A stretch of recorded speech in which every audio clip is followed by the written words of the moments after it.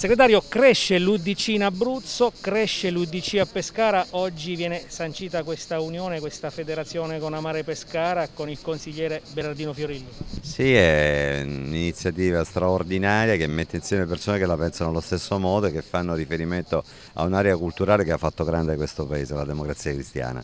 Ecco, bisogna riunire queste forze, lo stiamo facendo non solo a Pescara ma in tutta Italia, penso che questo sia un grande servizio al paese. Il tempo delle rendite è finito finito. Torna la buona politica, quella che serve soprattutto a risolvere i problemi dei cittadini e a far funzionare un paese, a far funzionare una regione, a far funzionare le amministrazioni locali eh, del, italiane.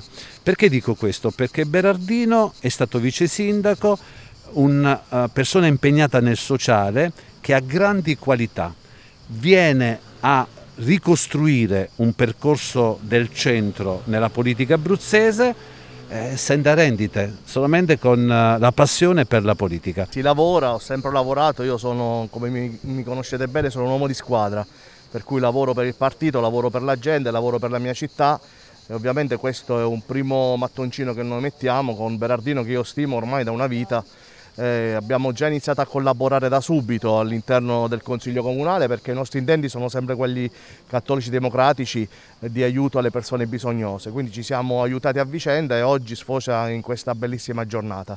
Eh, sono contento perché a benedire questa cosa c'è il segretario nazionale del, del, partito, considerando anche che siamo ancora purtroppo in piena pandemia, quindi lo ringrazio personalmente per essere in, intervenuto. È chiaro che acquisendo un altro consigliere, eh, vi posso preannunciare che già in trattativa Presidente con un altro consigliere che vorrebbe abbracciare anche il nostro discorso politico, io penso che poi il segretario nazionale all'interno con gli organi ufficiali deve rivedere un po' anche la scuola di governo della città e valutare le, le opportunazioni. Un percorso nato naturalmente, devo dire la verità, nato innanzitutto dal rapporto d'amicizia con Massimiliano Pignolo e poi dai comuni valori che ci accomunano, scusate il gioco di parole, che sono quelli sicuramente del sociale.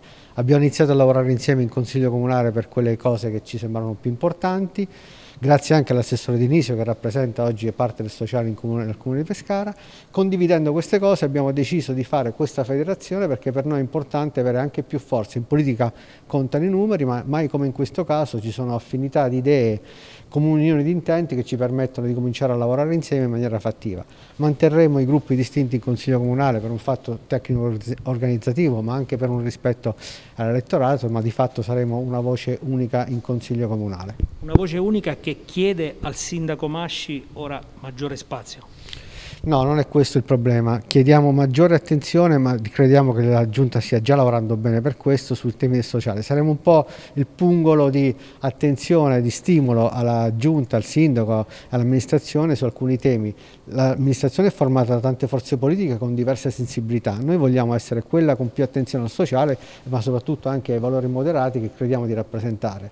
Mai come in questo momento c'è bisogno di una politica che non gridi gli umori di pancia estratti dai social network, ma che dia dia delle direzioni di soluzioni che magari in quel momento possono anche non accontentare l'elettorato, perché si parla sempre di elettorato, ma soddisfi soprattutto i cittadini.